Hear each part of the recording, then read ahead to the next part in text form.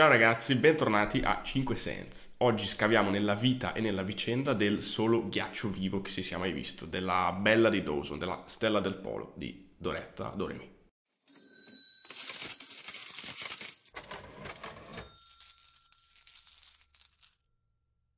Primo centesimo.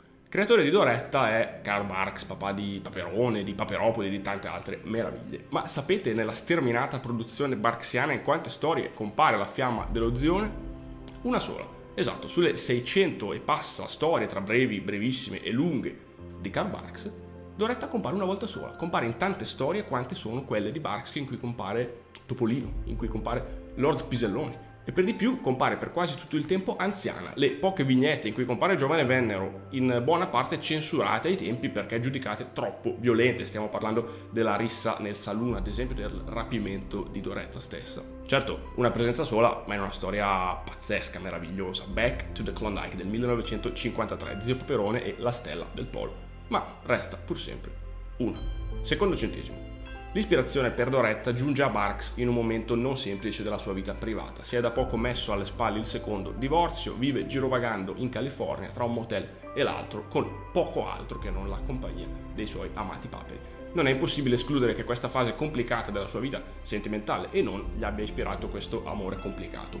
Doretta è la tipica ballerina da saloon di fine 800, figura legata a doppio filo alla corsa all'oro, fenomeno in cui Barks sta immergendo Paperone proprio in questo periodo. La canzone intonata da Doretta nei ricordi di Paperone, After the Ball, fa parte del repertorio di Lillian Russell, leggendaria ballerina di fine secolo. Terzo centesimo. Quindi, Barks crea Doretta, la usa in una storia, una storia bellissima, e poi più nulla. Dovremmo aspettare quasi 15 anni per rivederla e succede in Italia. Siamo nel 1966 e niente meno che Romano Scarpa ripesca dal mazzo il personaggio e lo mette in una storia, una storia non casuale, è Arriva Paperetta Yeye, la storia d'esordio proprio di Paperetta Yeye, che è la nipote di Doretta Doremi. La stella del polo appare ancora anziana e conosce Brigitta in uno storico incontro che nelle intenzioni di Scarpa dovrebbe essere una sorta di passaggio del testimone. La domanda è, ma se Paperetta è nipote di Doretta e Paperetta chiama nonnino Paperone in vari momenti di questa storia, vogliamo forse pensare che Paperone e Doretta Quarto centesimo. Ricapitoliamo, Barks nel 53, Scarpa nel 66, poi praticamente più nulla fino agli anni 80. C'è una manciatina di storie, tra cui un paio anche italiane, in cui Doretta compare, ma si tratta per lo più di camei, si tratta per lo più di eh, ricordi, insomma nulla di particolarmente rilevante. È quasi una comparsa, una comparsa del fumetto Disney. Ma tra gli anni 80 e 90 ci sono due fenomeni che riportano in scena, letteralmente, sul suo palco del Klondike, Doretta Doremi ed entrambi iniziano per D, come Doretta, Doremi. Il primo è DuckTales, la serie animata che dall'87 porta in scena le avventure di Paperi pesca a larghe mani nel repertorio barksiano.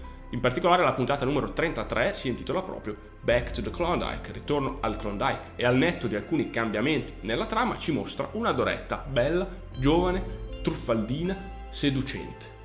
Paperone curiosamente nel doppiaggio italiano la chiama con il suo nome originale, Goldie, anzi la scintillante Goldie, che traduce letteralmente Glittering Goldie. Anche nel meraviglioso reboot giunto ora alla terza stagione compare Doretta, seppur con un look e un ruolo parzialmente rivisitati. Quinto centesimo, abbiamo detto che sono due le cose di fondamentale importanza che succedono a Doretta tra gli anni 80 e gli anni 90. Se la prima si chiama Dactyls, la seconda non può che chiamarsi Don Rosa.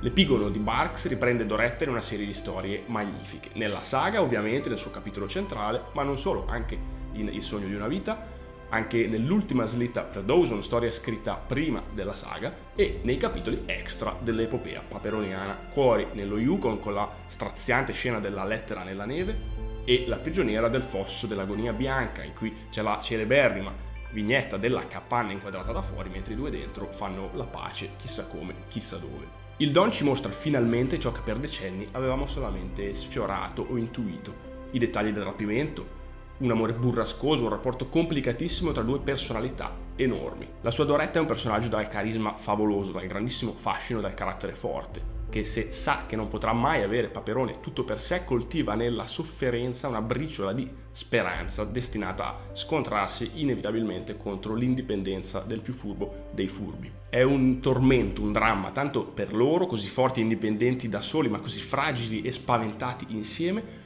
quanto per noi che empatizziamo tantissimo. In questo senso per me la storia più bella, personalmente, di Don Rosa con Doretta è qualcosa di veramente speciale. È una storia bellissima, non entro nei dettagli perché se non la conoscete ve la rovinerei, leggetevela, piangete come ho fatto io e godetevi il tormento di questa ferita aperta, così agrodolce, così incredibile nella sua inafferrabilità.